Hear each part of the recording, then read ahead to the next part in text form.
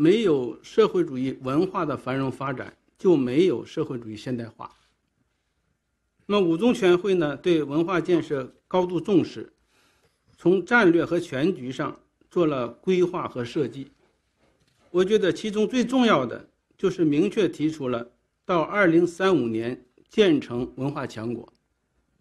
这应该说是党的十七届六中全会提出建设文化强国以来，中央首次明确了建成文化强国的具体的时间表。